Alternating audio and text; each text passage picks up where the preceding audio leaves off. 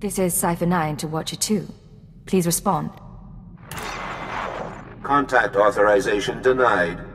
This is Imperial Automated Defense Corps Unit CR-97. By order of Darth Zhorrid, Lord of the Dark Council, your ship is now in lockdown. Cipher 9. The last time we spoke, I called you to Korriban. Did you misunderstand what a privilege that audience was?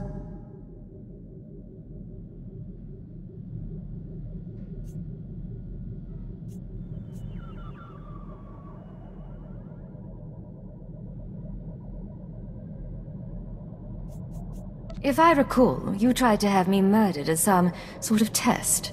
Many would beg for the opportunity to serve one of the Dark Council. You've not impressed me, Cipher. You've given me no new information since your mission began, about the murder of Darth Jadus or otherwise.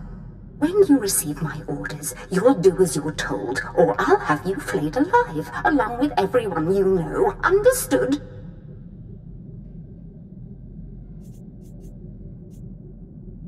I assure you, my lord, I've reported all my findings to intelligence. Very well.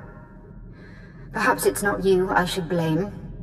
Now, my peers on the Dark Council acknowledge me, but they don't yet respect me, not like they did my father. To secure my position, I must have my father's secrets, the mysteries Darth Jadus never deigned to teach me.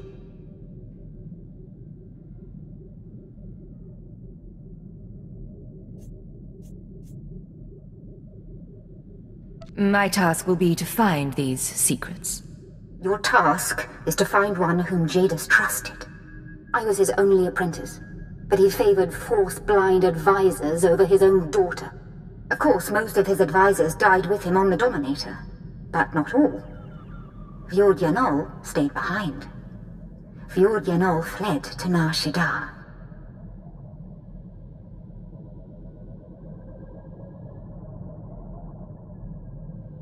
Do you think Yanel knows something about the terrorists? It's conceivable, I suppose. He might have shared their ideals or conspired with Jadus's rivals. The end result is the same. My sources have found his hideout. You will catch him and bring him to me. Until then, we are finished.